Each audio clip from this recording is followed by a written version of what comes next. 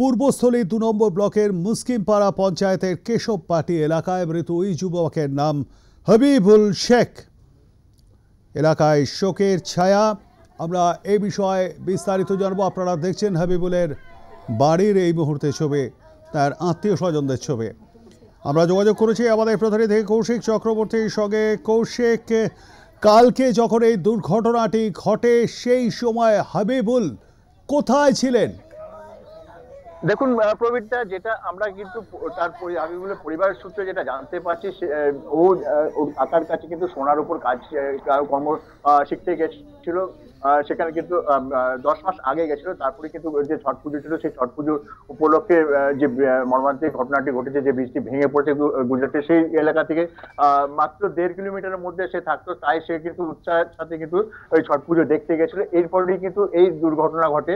এরপর যেটা মানে যেটা পরিবারের তরফ থেকে আমরা যেটা জানতে গতকাল গভীর রাত্রে কিন্তু এই খবরটি আসে যে হাবিবুর এই দুর্ঘটনায় মারা গেছে। তারপরেই কিন্তু পরিবারের শোকের ছায়া নেমে আসে। সকাল থেকে কিন্তু একেবারেই পরিবারে মানে লোকে লোকারণ্য বিভিন্ন প্রতিবেশী যারা আছে তারা কিন্তু ইতিমধ্যেই বাড়িতে এসে সমবেদনা জানাতে শুরু করেছে। এই মুহূর্তে কিন্তু বাড়িতে একেবারে শোকের ছায়া ছায়া- নেমেছে। মাত্র দশ মাস আগে যে ছেলেটি কাজ করতে গেছিল তার এইরকম একটা মর্মান্তিক মৃত্যুর খবর কিছুতেই মেনে নিতে বিশেষ করে বছর বাইশ চব্বিশের এক এক তরতাজা যুবক যে আহ, সামান্য পড়াশোনা করে পরিবারের যে চাহিদা আছে সেই চাহিদা মেটাতে কিন্তু সে গেছিল, সে মাধ্যমিক পাশ করার পর একাদশ শ্রেণীতে ভর্তি হয়েছিল, কিন্তু আর্থিক অনটনের কারণে কিন্তু সে সে কিন্তু কাজ করতে অন্য রাজ্যে গেছিল, কিন্তু এরপরেই কিন্তু গতকাল গভীর রাতে এই মর্মান্তিক খবর আসার পরই কিন্তু একদম এলাকায় শোকের ছায়া কিন্তু নেমে এসছে। এই মুহূর্তে কিন্তু এলাকার প্রতিবেশীরা তাদের- পরিবারকে সমবেদনা জানাতে শুরু করেছে এবং ভিড় জমা করেছে। একই সাথে গোটা এলাকা জুড়ে কিন্তু একটা শোকের ছায়া নেমে এসছে। প্রবীরদা। হাবিবুরের দেহ কখন নিয়ে আসা হবে? সেটা কি আজকে নিয়ে আসা হবে না আগে আগামীকাল নিয়ে আসা হবে? এরকম কোনো খবর কি এখনও পর্যন্ত তাদের পরিবারের তরফ কাছে এসে পৌঁছেছে?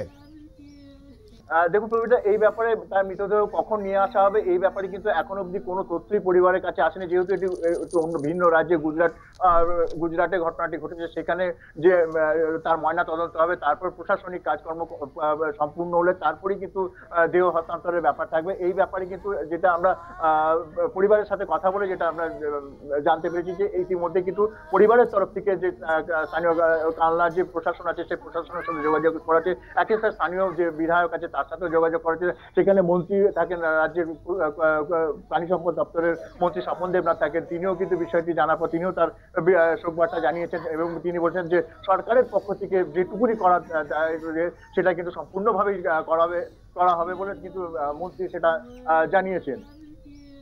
ধন্যবাদ কৌশিক, আমাদের সঙ্গে থাকবার জন্য কথা বলছিলাম আমাদের প্রতিনিধি কৌশিক চক্রবর্তীর সঙ্গে এবং তা থেকে আপনারা বিস্তারিত শুনলেন। আপনাদেরকে আরও একবার জানিয়ে রাখি, গুজরাটে মরবিতে ছট পুজোর সময় মাচু নদীর ওপর যে কেবল ব্রিজ ভেঙে পড়ে, যেখানে শতাধিক মানুষের মৃত্যু হয়েছে, তার মধ্যে রয়েছেন আমাদের এই রাজ্যের পূর্বস্থলের এক তরুণ, যার নাম হাবিবুল শেখ।